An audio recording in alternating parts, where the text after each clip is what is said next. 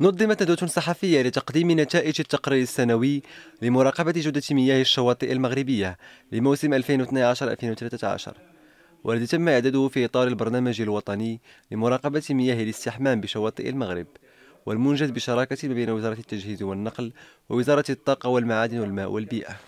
Il est marqué, oui, ils sont marqués aussi euh, par le fait que le, le, تميزت نتائج مراقبة مياه الاستجمام بالشواطئ المغربية هذه السنة بكون عدد الشواطئ التي شملتها المراقبة بلغت 146 بزيادة 6 شواطئ مقارنة مع السنة الماضية و16 شاطئا فيما يتعلق بجودة الرمال وهذا ببرز اتساع حجم المراقبة بالشواطئ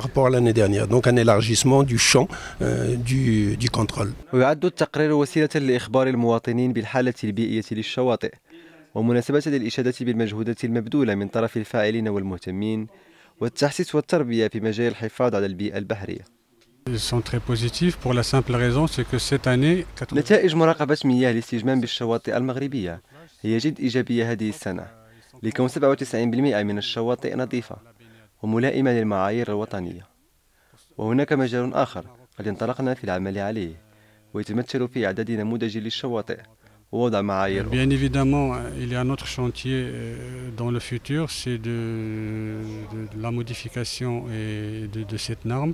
Mais ça, c'est un chantier euh, sur lequel on a déjà commencé à travailler à travers la réalisation de certains profils de plage. ويمكن التقرير السنوي لمراقبة جودة مياه الشواطئ المغربية من خلق تنافسية بين مختلف الجماعات الساحلية من خلال دفعها إلى مضاعفة الجهود من أجل تحسين خدمات السياحة الشاطئية وتوفير الراحة للمصطفين